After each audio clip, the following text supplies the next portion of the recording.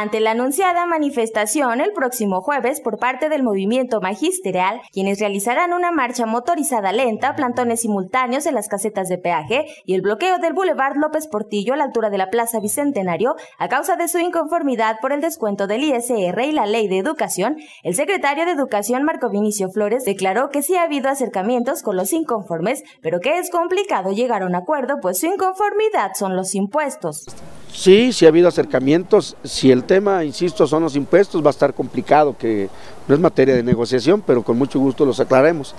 El viernes hizo ocho días que fueron atendidos aquí y se les explicó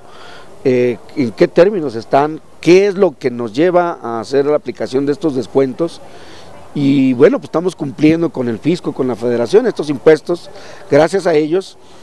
se les paga a los maestros, se construyen escuelas, hay servicios de salud, de seguridad, las instituciones de este país que se formaron después de la Revolución Mexicana existen gracias al pago de los impuestos. Vinicio Flores destacó que se tiene un déficit de 1.700 millones de pesos, por lo que de subsidiarlo costaría alrededor de 2 millones de pesos en posibles impuestos, por lo que no se tienen condiciones para absorber el impuesto del ISR que se les está cobrando. Este acercamiento ya lo tuvimos, ya se les explicó, sin embargo, a pesar de ello,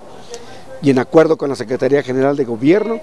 el día de hoy en la tarde tentativamente tendremos otra reunión con ellos. Asimismo, destacó que los maestros que falten a sus labores debido a su participación en la manifestación anunciada para mañana pueden ser sancionados con una acta de abandono de empleo. Con imágenes de Olaf Santana para México Explorer, Alejandra de Ávila.